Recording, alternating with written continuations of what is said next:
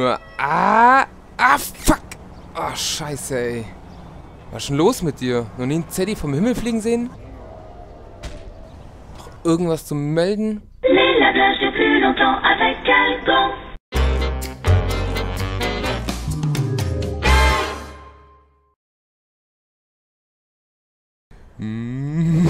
Moin Jungs, da bin ich wieder.